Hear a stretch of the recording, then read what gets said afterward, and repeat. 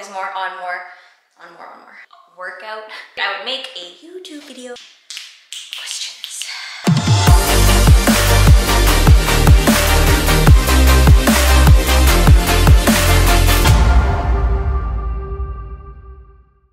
What's up guys? Welcome back to my YouTube channel. Today's video is going to be a full lower body workout. Primarily, I'm going to be using dumbbells and a barbell and some plates. Um, if you guys don't have any of the pieces of equipment that I have in my video today, feel free to drop a comment below and I'll try my best to provide a substitute. The reason why I'm doing this video is just because I get a ton of questions on what kind of movements I do in order to condition myself for my jumps, my tumbling, and of course the Mobility Monday, the pistol squats, dragon pistols, all that fun stuff. So I figured I'd just walk you through my typical leg day. So hopefully you guys like this video. If you do, make sure you like, subscribe, and comment, and let's get to work.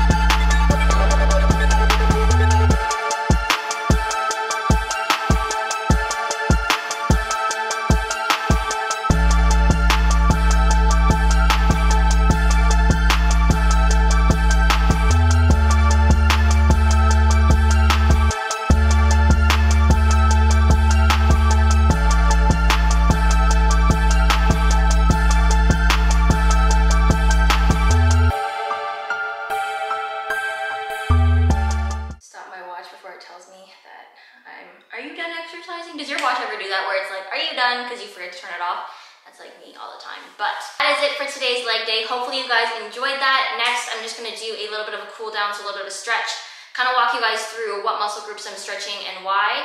Um, today, as you could probably tell from my video, is very quad dominant, very little hamstrings in there, a little bit of glute, but again, not too much. Today was my quad focus day, mostly because I have a whole day dedicated to quads, just because I'm trying to grow them right now. So in another leg day video, which I'll probably do in a couple weeks, I'll show a full hamstring and glute focus workout as well. Today, I mainly use just a barbell and dumbbell. That's just for the sole purpose because I know a lot of people are working from home right now in terms of workout. So if you guys have a barbell or if you have a dumbbell, you could do any of the variations I did today with either or, or if you have both, then that's even perfect. So next we're just gonna stretch um, because it's always important to stretch after your workout. You can do a little bit of an active warm up like I did earlier today, um, but when you wanna cool down, just doing some static stretches is the best way. So I'm going to stretch now.